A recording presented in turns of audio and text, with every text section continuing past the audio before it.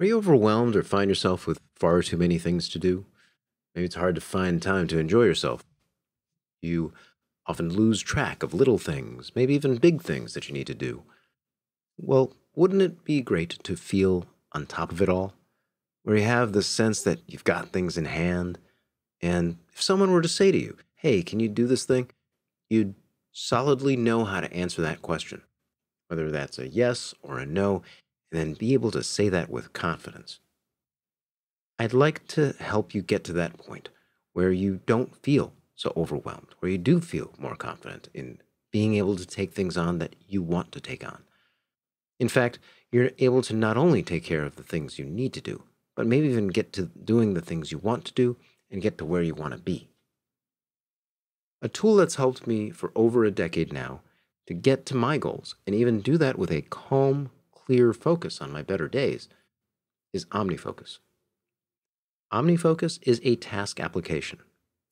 Now, that may not sound exciting, but it's not about the tool. It's about using it to get to where you want to be.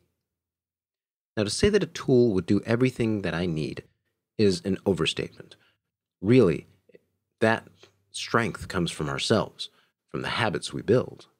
But tools can be powerful in helping us get there. There are many apps out there and many are quite useful. Tools for tasks, for projects. I've chosen and stayed with this one because I've found it to be powerful, robust, and reliable. It can be simple when I want it to be, and it can be complex when I need it to be. Some people see OmniFocus and its rabid fan base and the details that can go into it, well, there's quite a bit, and suddenly feel overwhelmed. Where would you even start? Well, you could start simply. And this series is about the basics of OmniFocus. And that can take you far. Much of this is about mindset.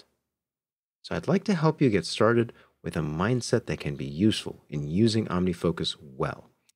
So hopefully you can get to where you can enjoy your time and be at the places that you want to be.